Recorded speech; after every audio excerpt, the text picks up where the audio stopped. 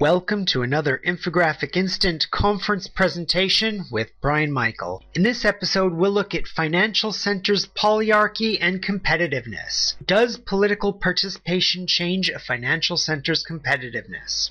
The question is naturally important for many countries nowadays. When we look at important questions such as Brexit or Hong Kong's eventual reunification or rejoining China in 2047, we see that the extent of democraticness of institutions is a key policy question for leaders in these jurisdictions.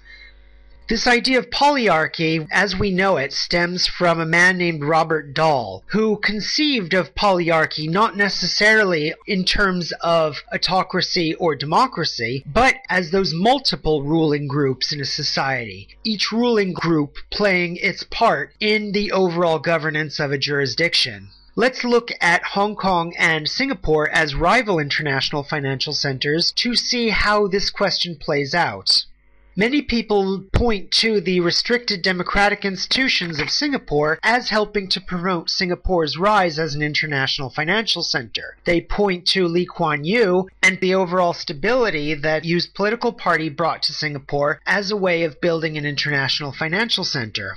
Along with Singapore's polyarchy comes relatively restrained political discussions in their parliament, relatively close connections with government through institutions such as Temasek.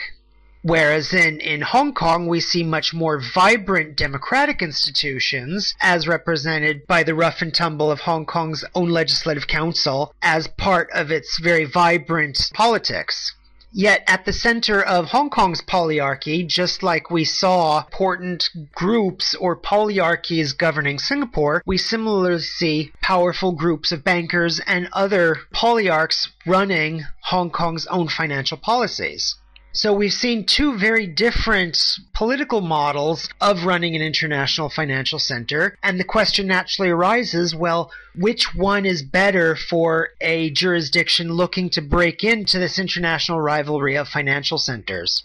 There's no best political institution. Instead, political institutions and polyarchy in those political institutions needs to evolve in response to outside and internal pressures we see that competitive pressures from abroad lead certain jurisdictions' political leaders, and particularly those in their key polyarchies, to restrict the extent of democracy in order to push financial policy in a particular direction. It's this restriction of the extent of democracy which helps the International Financial Center adopt and implement those policies which help it compete internationally. However, over time, this simple restriction of new ideas, new interests doesn't serve an international financial center as they've squeezed out all of the internal cooperation that they're going to get, and instead they need to rely more on new ideas, new interests, new groups in order to spur financial innovations. Thus, we see an increasing in democracy, or polyarchic democracy if one wants to be more formal, in order to provide the new ideas which helps regrow an international financial center that might have become too constrained over time in its search for international competitiveness.